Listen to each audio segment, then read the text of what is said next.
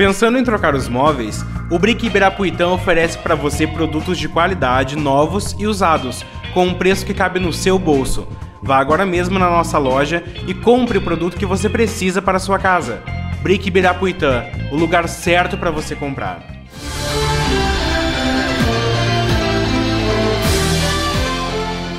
Quase 100 apenados do regime semiaberto no Rio Grande do Sul não retornaram aos presídios após serem liberados temporariamente entre o Natal e o Ano Novo.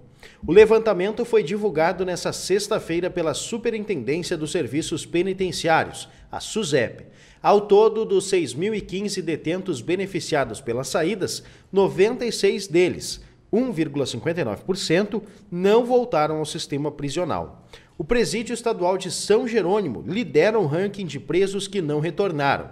Dos 194 apenados liberados, apenas no período de Ano Novo, oito não retornaram à casa de detenção. No Instituto Penal de Caxias do Sul, por exemplo, foram registradas 169 saídas no Natal e outras 156 no Ano Novo. Desse montante, oito não voltaram. Em 2014, 107 presidiários não retornaram, de um total de 6.085 liberados de forma temporária.